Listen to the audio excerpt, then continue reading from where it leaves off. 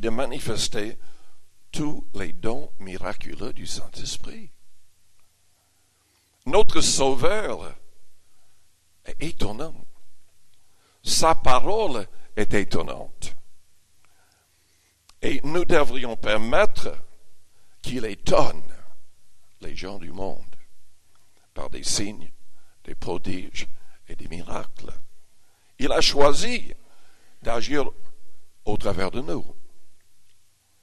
Et si nous restons humbles, si nous permettons au Saint-Esprit de venir en nous, sur nous, comme David le faisait, comme les prophètes le faisaient, qu'est-ce qui pourrait arriver?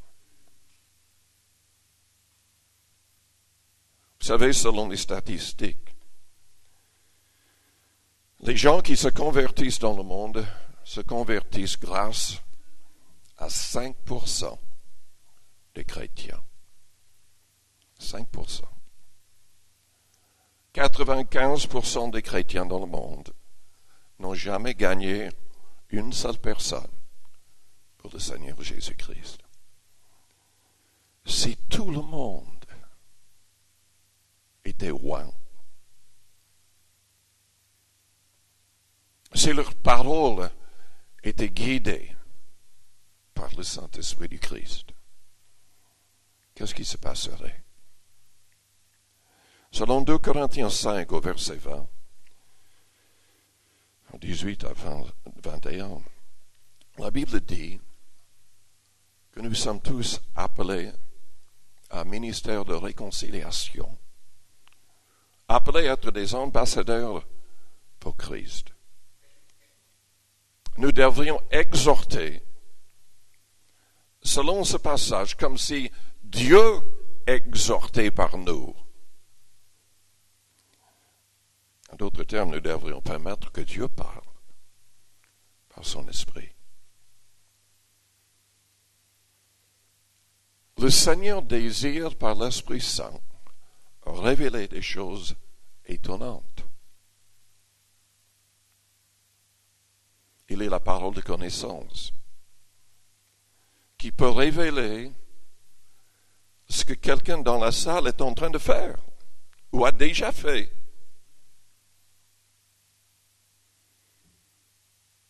Avec la prophétie qui prédit, nous pouvons être avertis à temps et éviter des problèmes de toutes sortes.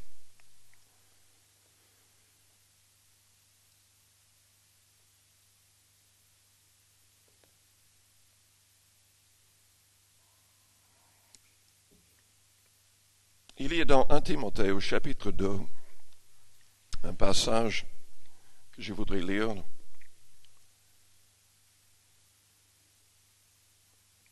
Aussi Ésaïe au chapitre 3 au verset 16.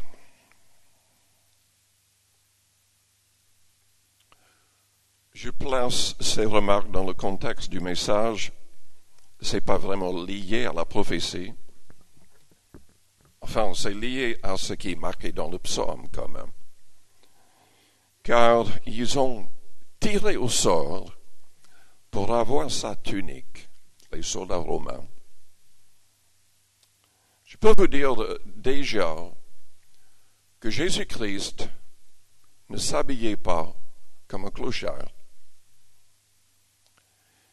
Il était modeste, il, il ne portait pas des robes comme un roi. Mais il était quand même bien habillé. S'il n'était pas bien habillé, les soldats n'auraient jamais tiré au sort pour avoir ses vêtements. Dans l'Évangile, il y a un passage qui fait mention de cette tunique, qui était d'un seul tissu, depuis le haut jusqu'en bas. Est-ce symbolique Enfin, la Bible le mentionne quand même. Pour moi, cette unique parle de sa pureté, du fait qu'il était, oui, modeste. Il s'est dépouillé afin que nous soyons enrichis. Il s'est fait pauvre, afin que nous recevions les richesses éternelles. Cette tunique me pousse à réfléchir à notre manière de nous habiller. Nous devons suivre son plan. Nous sommes appelés à être ambassadeurs pour Jésus-Christ. Selon Timothée 2, nous devrions être modestes, pudiques, évitant ce qui est excessif, évitant ce qui est trop mondain, coûteux, aussi parce que Dieu ne supporte pas l'orgueil. Et nous devons être équilibrés dans ce domaine. Dans, Ésaïe, au chapitre 3, au verset 16, il y a un passage qui, où on constate que Dieu remarque comment on est habillé. En disant ces choses, ce n'est pas pour juger ou reprendre qui que ce soit. Mais ces choses correspondent avec ce qui est marqué dans le psaume. L'Éternel dit, parce que les filles de Sion sont orgueilleuses et qu'elles marchent le cou tendu et les regards effrontés, parce qu'elles vont à petits pas et qu'elles font résonner les boucles de leurs pieds, le Seigneur rendra chauve le sommet de la tête des filles de Sion. L'Éternel découvrira leur nudité.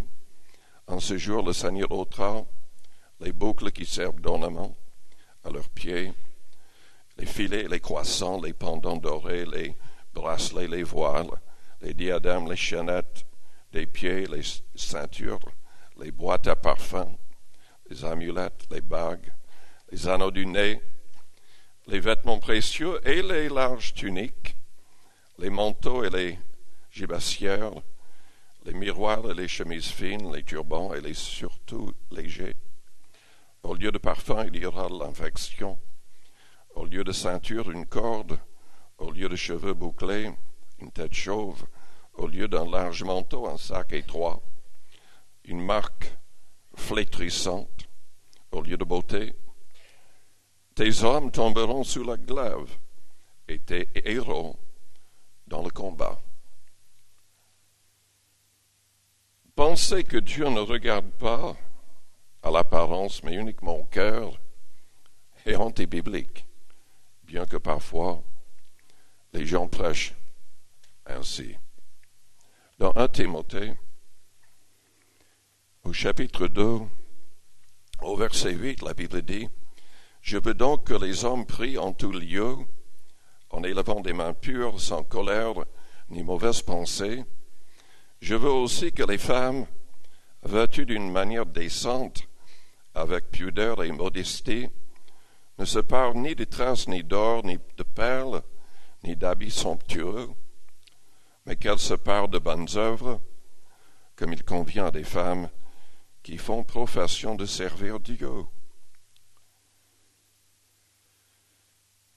Évidemment, les femmes sont visées parce que les femmes peuvent être facilement l'objet de convoitises.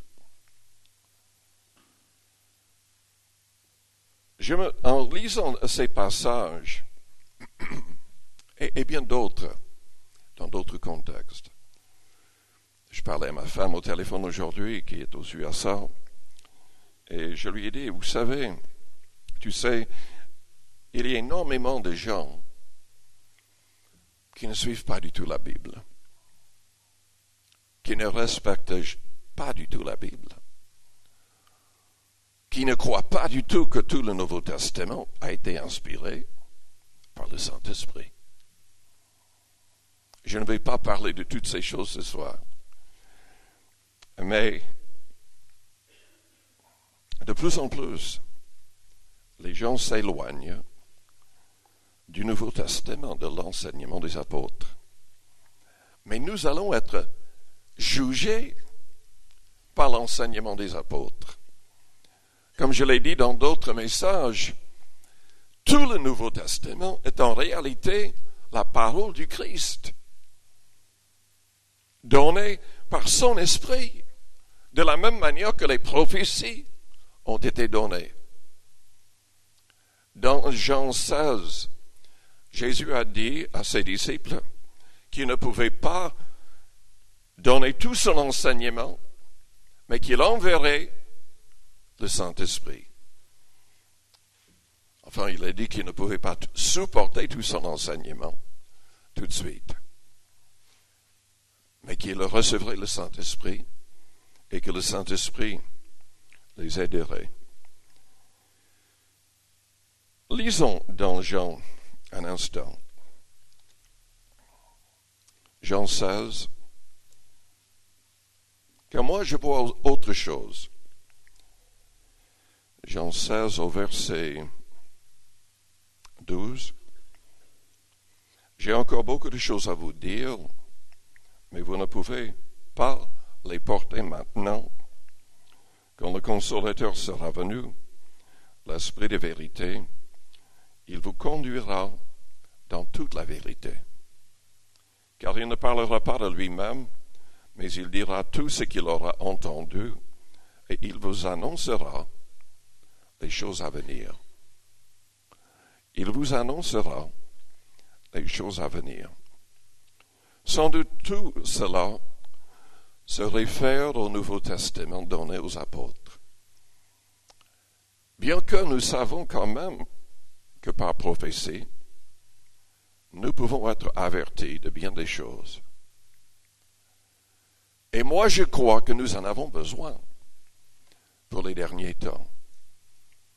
Déjà en France, il y avait une époque où on brûlait les Bibles. Si quelqu'un possédait une Bible et était trouvé avec une Bible, cette personne serait brûlée.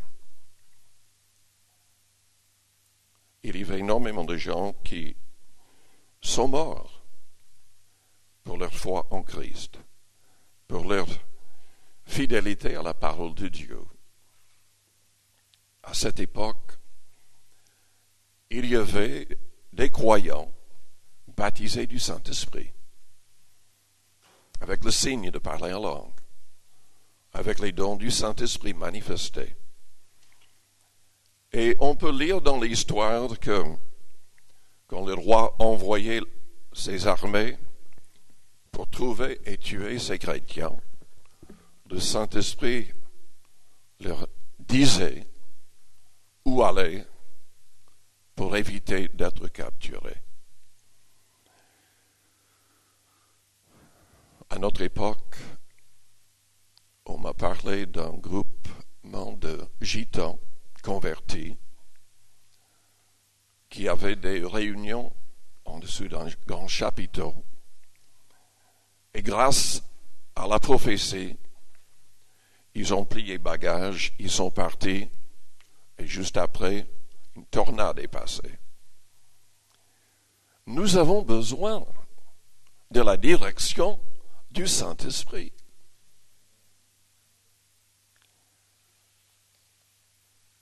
Et la louange est une clé. C'est le psaume 22,